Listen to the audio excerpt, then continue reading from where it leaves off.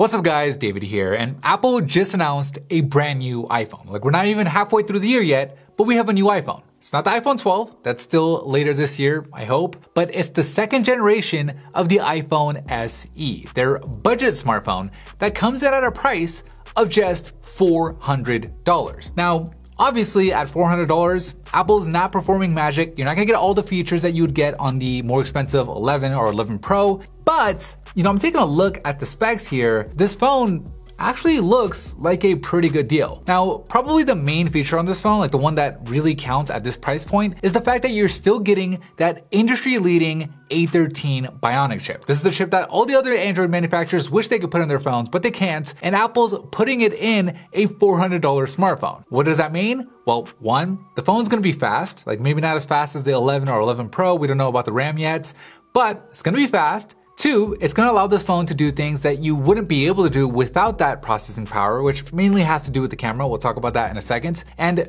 three, and I think this is the big one, because it has that A13 Bionic chip, Apple is going to most likely support this phone for many years to come with the latest version of iOS. Like there wouldn't be any reason for them not to push out updates considering it has the latest and greatest in terms of chipsets. Now, there are some other features on this phone that you wouldn't expect at this price point. You get wireless charging, which is incredible to have at $400.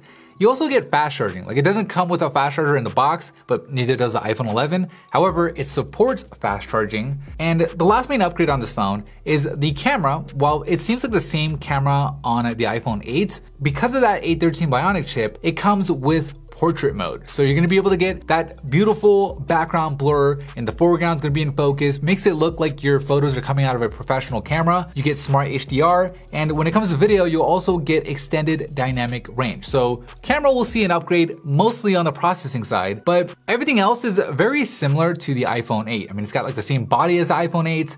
The battery life is gonna be around the same as the iPhone 8, according to Apple. Of course, we'll run our tests and find out for sure. The screen is the same as the iPhone 8, and uh, the, its level of water resistance is also the same at IP67. Now none of that is actually a bad thing, but it shares more in common with the iPhone 8 than it does the 11 and 11 Pro. It's time to talk about it, okay? What's missing? Like what are you not getting on this $400 iPhone that you would be getting if you coughed up 300 extra dollars for the iPhone 11 or went $600 more for the iPhone 11 Pro? Well, there's quite a few things, all right? The first and, and main one has to do with the camera. So on the back, you're not getting that ultra wide camera, and obviously you're also not getting the telephoto camera, which only comes on the Pro models. You're also not getting night mode, and that's probably due to the sensor, and you're also missing audio zoom, that feature where, you know, when you pinch to zoom while recording a video, the microphones will kind of hone in on what you were pointing at. On the front side, I hate to break it to you guys, but you're not gonna get slow motion video. Like no slofies.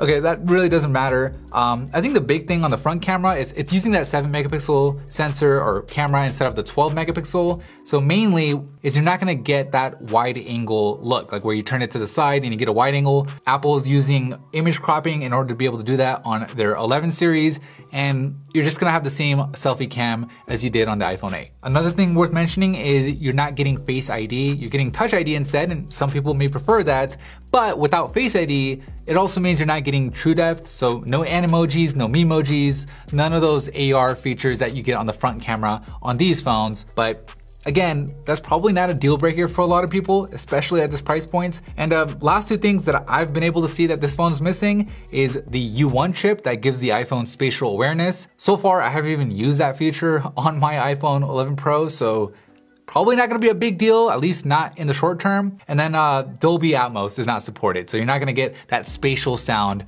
but you are getting dual speakers. So overall, I'm actually looking forward to this phone. It's gonna launch on the 17th officially, or it's gonna be available for pre-order. Pricing starts at 399 for the 64 gigabyte model, and the phone comes in three different colors. You have white, black, and that sweet looking product red. But I'm excited to test it. We'll be doing the speed test, the battery test, probably the drop test, so subscribe if you haven't already. But uh, outside of that, I'll see you guys in the very next episode.